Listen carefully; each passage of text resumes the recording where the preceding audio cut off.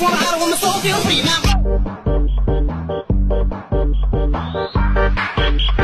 now.